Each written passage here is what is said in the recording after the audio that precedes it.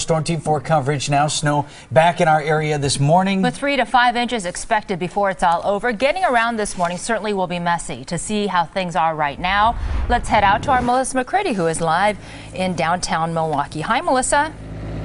Good morning, Vincent. Susan, the snow is still coming down here in downtown Milwaukee. I am standing at the intersection of Van Buren and Kilbourn.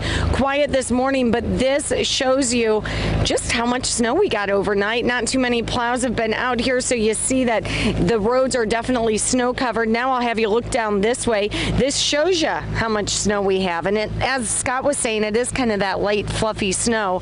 The biggest thing is if you do head out anytime soon, soon. You do need to be careful. The roads are very, very slick. I spun out going through the Marquette interchange. I know Road Warrior Caitlin Morale spun out a little bit on some of the side streets. So it's not just some of the main thoroughfares. Even some of these side streets are very slick and snow covered. So you do want to be careful. I'm going to be out here all morning long bringing you weather updates. For now, on your side, live in, down, in, live in downtown Milwaukee, Melissa McCrady, today's TMJ4. All right, thanks, Melissa.